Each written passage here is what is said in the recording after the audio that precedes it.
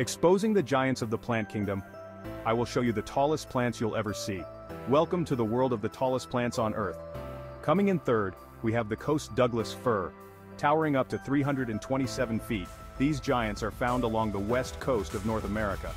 Imagine standing at the base of one, it's like looking up at a 30-story building.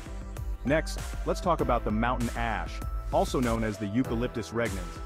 Reaching heights of 330 feet it's native to Tasmania and Victoria in Australia. Picture this, it's so tall it could peek through the clouds and finally, the king of them all, the Hyperion, a coast redwood. At a staggering 379.7 feet, Hyperion is the tallest known living tree on Earth, found deep within California's Redwood National Park. That's taller than the Statue of Liberty. Isn't nature incredible?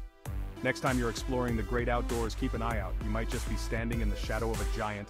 Want to know more about the wonders of our natural world? Hit that like button and subscribe for more amazing discoveries.